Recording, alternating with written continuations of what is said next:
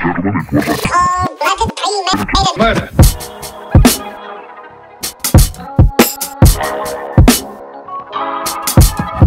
Break, break, break.